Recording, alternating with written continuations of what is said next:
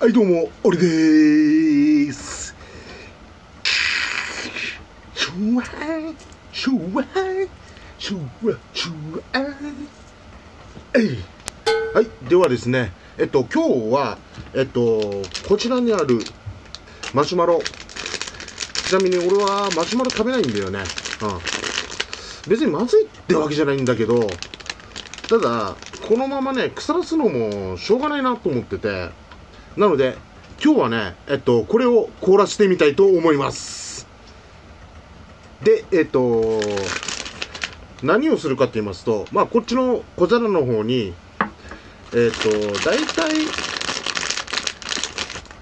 まあ3つぐらいかな。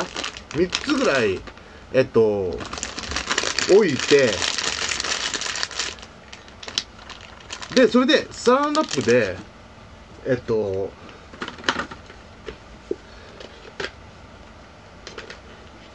サランラップ。あれ？絡まってるよおい。どうしてくれるんだよ。おい。よしできた。じゃあこのサランラップでねえっとこうやって包んででそれで冷凍庫に入れてみたいと思います。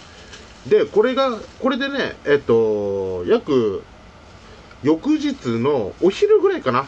うんそれでそれまで置いときたいと思います。まあこうまあそのぐらいになったら凍ってるだろう普通に。では置いてきます。はいうちの冷凍庫です。まあ魚入ってますけどこの中にねこれをマシュマロを入れてみます。でそれでシャットダウン。ヤッホーちなみに今日は大雨でやばいな。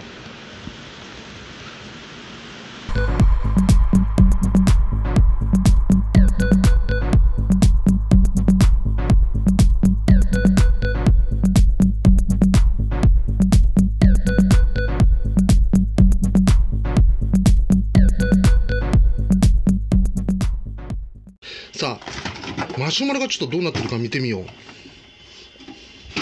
開けてみるよ。んあ硬いわ。でもなんか普通だな。なんか縮んでるとかなんかそんな感じだったような気がするけどね。はい。えー、こちらにと取りましたるはこの固まったマシュマロ。こちらの方ですね。かじっていきたいと思います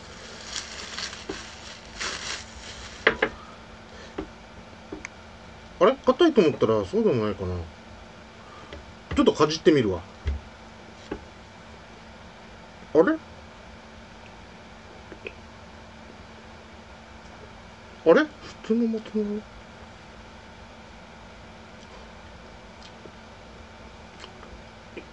あれ？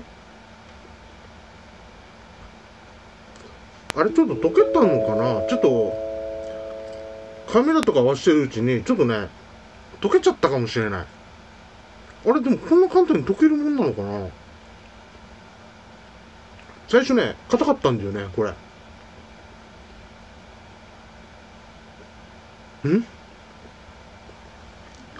あれ？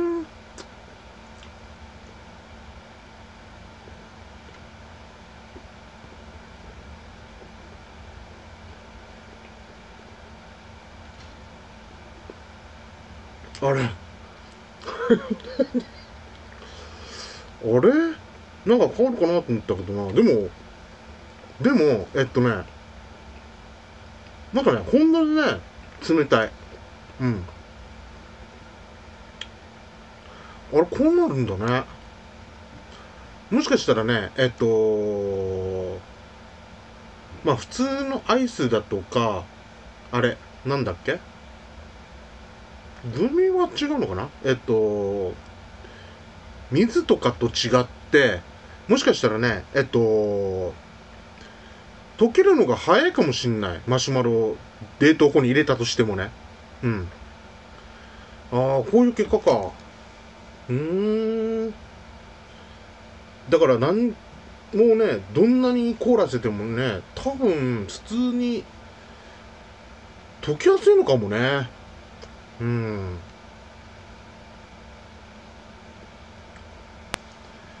はい。ではいかがでしたでしょうか。今日はねえっとまあマシュマロを凍らせたらどうなるかってやつだったんだけどうーん。まあ今回はねちょっとねえっと結構忙しくてまあ4日間も放置してました。まあ本当は放置する気はなかったんだけどね。でも放置して硬いのかなと思いきやまあ最初は硬かったんだけどまあちょっとねまあカメラ調整といってもでも10分程度だよな。うん。大体そのぐらいだったからさもしかしたらねえっと凍らせて溶けるのがちょっと早いかもしんない。もしくは元から凍ってなかったか。ちょっとね硬いかなと思ったけど強くふって押してばむにゃって曲がるかもしんないしさうん。曲がるかと思う。うん。っていうかへこむか。どっちかっていうと。なのでえっと今日はこのこういうことになりました。ではみんなグッバイ